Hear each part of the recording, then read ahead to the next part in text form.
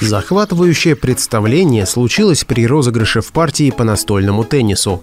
Двое юных, но бесспорно талантливых спортсмена устроили настоящую пинг-понг-баталию, выжимая из каждого удара по максимуму. Что примечательно, все, кто был в этом зале, оставили свои дела и наблюдали до последнего за этим розыгрышем.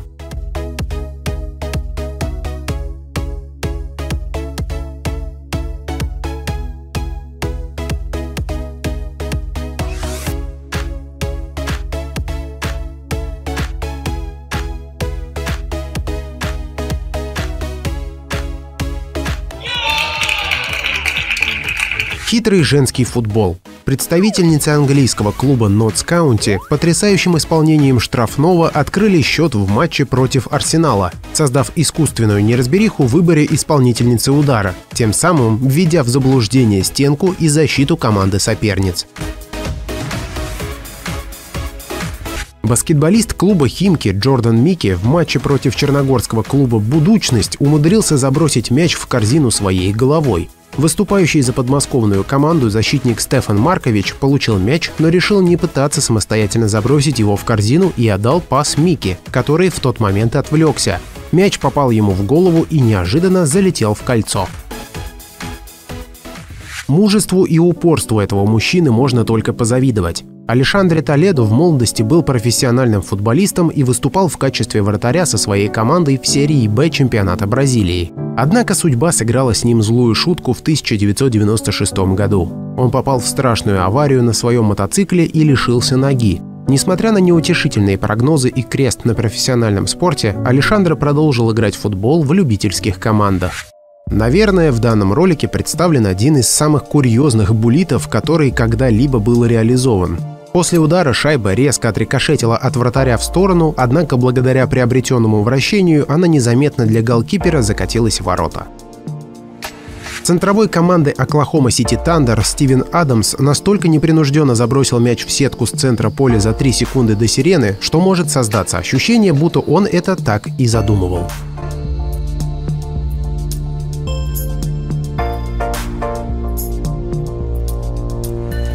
Это видео мы подготовили на случай, если вас не впечатлило предыдущее. Американский видеоблогер и любитель баскетбола Тайлер Тони установил новый мировой рекорд, забросив мяч в кольцо с крыши 162-метрового небоскреба.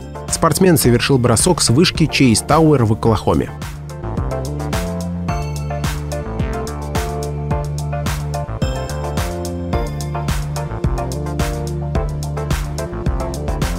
Полеты на параплане не должны быть помехой для скейтбординга, сказал себе этот парень и таким оригинальным способом совместил, казалось, несовместимые вещи.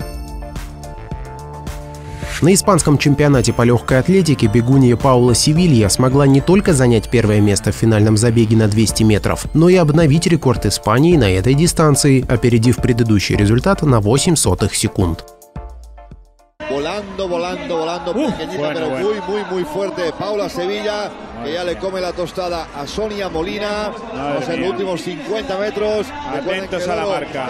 Atentos a la marca. 56, marca de Paula Sevilla, marca 23-45, récord de los campeonatos и терцера mejor марка española de toda la historia. Прежде чем двигаться дальше, у меня есть небольшой челлендж для вас, который займет всего лишь 5 секунд. Вам надо поставить лайк на это видео, подписаться на наш канал и нажать на колокольчик. Если вы это сделаете, то последующие 10 лет вас будет сопровождать поразительная удача. Попробуйте, это действительно работает. Молодой, но талантливый сноубордист Маркус Кливленд становится настоящей сенсацией мероприятия Wendy's Snowboard Knuckle. Только посмотрите, какой трюк удалось проделать парню.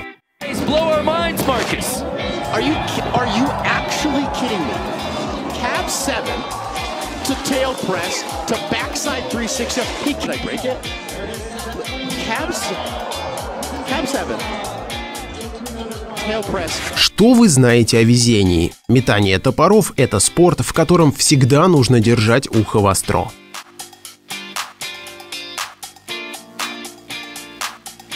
Кто сказал, что октагон не место для любви? Известный шведский боец смешанного стиля Александр Густавсон сделал предложение своей подруге прямо на ринге после боя в рамках UFC. Девушка была польщена и тронута такому событию и, естественно, ответила на это согласием. Спортсмен прямо перед этим одержал победу нокаутом над бразильцем Гловером Тейшейрой.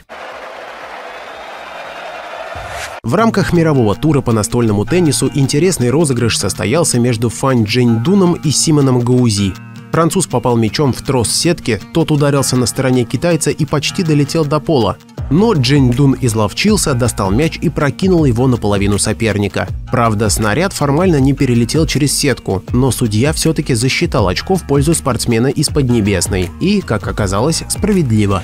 Андрей Рагетли – лыжник-фристайлист из Швейцарии. К 22 годам он выиграл 8 Кубков мира и 4 хрустальных глобуса, которые вручаются победителям общего зачета Кубка мира, поэтому проделывание подобного – сущий пустяк для профессионала.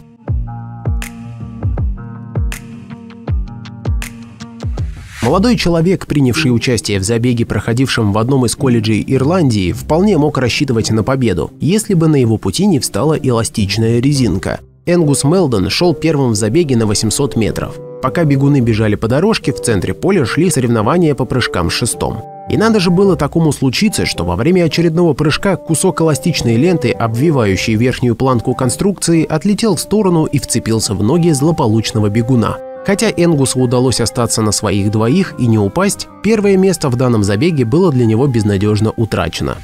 Забавный случай произошел на матче звезд НХЛ, проходящей в рамках недели звезд хоккея. Защитник трактора Ник Бейлин при выполнении булита сыграл в камень-ножницы-бумага с голкипером Юхой Мецолой, и вратарь после неудачи был вынужден покинуть ворота.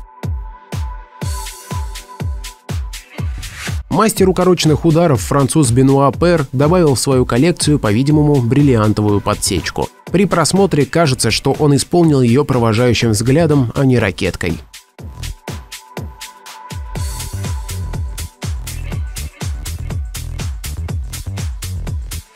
Колина Марикаву называют восходящей звездой гольфа и часто сравнивают с легендарным Тайгер Вудсом, чью рекордную стартовую серию из пройденных подряд отборочных раундов он чуть не побил. Однако поднимать победные трофеи без происшествий пока не такая простая задача для профессионального игрока в гольф. На торжественном вручении американский спортсмен резко поднял кубок, с которого слетела крышка. В матче девятого тура чемпионата Колумбии на 85-й минуте встречи голкипер Вилькер Фариньес отразил три удара подряд, один из-за пределов штрафной площадки и два с близкого расстояния. Правда, перед последним выстрелом боковой арбитр зафиксировал офсайд, но от этого подвиг Фариньеса смотрится не менее круто. Спасибо за просмотр. Если вам понравилось видео, то подписывайтесь на канал и ставьте лайки. С нами интересно. Всем пока!